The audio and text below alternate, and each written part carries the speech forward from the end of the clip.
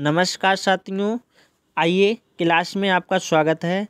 हमसे पूछा गया है, एक के विपरीत सतह पर कौन सा अंक होगा? एक के विपरीत सतह पर कौन सा अंक होगा? तो हम दोनों पासों में सबसे पहले देखते हैं कौन सी संख्या कॉमन है। तो यहाँ पे देखते हैं, इसमें दो है, इसमें दो है। तो हम सवाल को यहीं से स्टार्ट करते हैं। दो से क्या करते हैं इसमें? क्लोक वाई घूमते हैं तो यहाँ पे पहले दो से पाँच तरफ़ जाते हैं, पाँच तरफ़ तीन की तरफ़ जाते हैं। इसी प्रकार इसमें जाएँगे, दो की तरफ़ एक दो से एक की तरफ़ जाएँगे, एक से छः की तरफ़ जाएँगे। तो पाँचवा नंबर ए में देखते हैं।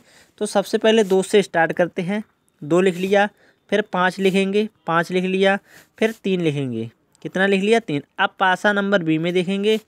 दो से स्टार्ट करेंगे तो यहाँ पे दो लिख लेंगे। फिर यहाँ पे दो से एक की तरफ़ आएँगे तो यहाँ पे एक लिख लिया। एक से छः की तरफ़ जाएँगे तो हमने यहाँ पे छः लिख लिया। अब हमसे पूछा एक के विपरीत कौन सा अंक होगा? तो हमारा देखिए यहाँ पे आ गया है, एक के विपरीत कौन सा होगा? पाँच होगा। तो हमारा आंसर जो हो जाएगा, डी वाला सही हो जाएगा। अर्थात इसका जो आंसर राइट आएगा, वो पाँच आएगा। जिसने अभी तक हमारे चैनल को सब्सक्राइब नहीं किया है तो प्लीज़ सब्सक्राइब बस कर लें।